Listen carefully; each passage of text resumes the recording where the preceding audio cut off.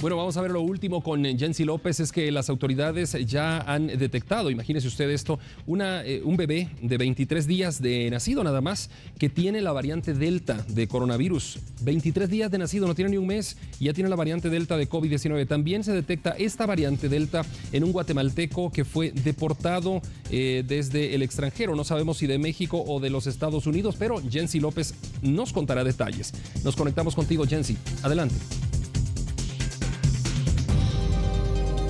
En efecto, compañeros, un informe compartido por las autoridades del Laboratorio Nacional de Salud detalla que se secuenciaron 93 muestras eh, positivas a COVID-19. De estas se obtuvieron 62 resultados, 44 de ellos corresponden a la variante Delta. Sin embargo, en el documento hay un dato que llama mucho la atención y es que un bebé, escuche bien, de tan solo 23 días de nacido fue eh, detectado con la variante Delta. El pequeño eh, mostraba síntomas eh, moderados según lo que se nos indicó por parte de las autoridades del Laboratorio Nacional de Salud y es originario del departamento de Totonicapán.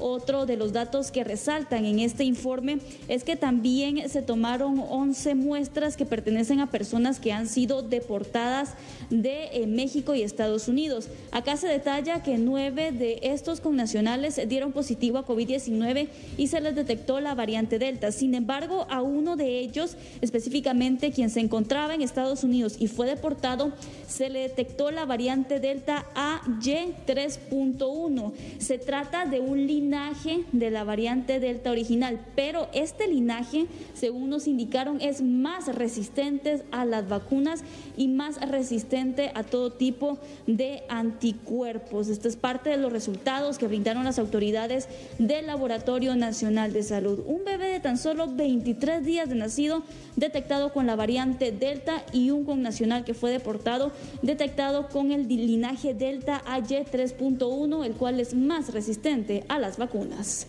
En cámara, Werner Álvarez con este reporte regreso, Estudios Centrales. Bueno, Jensi